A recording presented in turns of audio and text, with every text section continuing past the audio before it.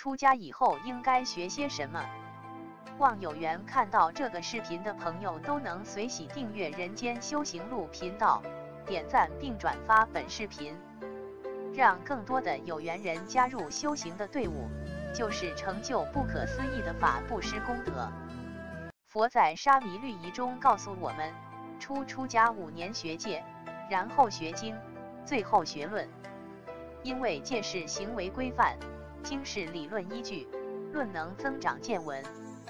这是佛在戒律里面对出出家者的要求。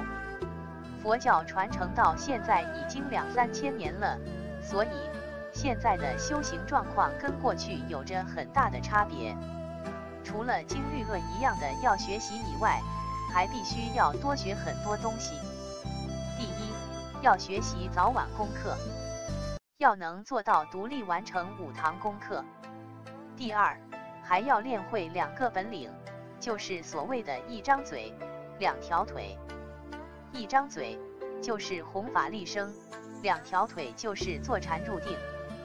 以上所说的这些都是正规的出家所应当具备的大概条件。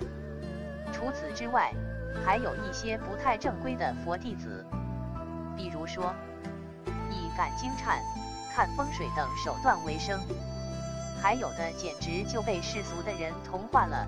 一样的去生意、去投资、追求名闻利养，这种做法是给佛脸上抹黑，又浪费自己的生命，更加愧对父母的养育之恩和师长的教导之德。所以，作为一个真正的出家人，要么严持境界，要么勤修禅定，要么弘扬正法，自己可以选择其中的任何一种。只要用上十年功夫，一定会小有成就。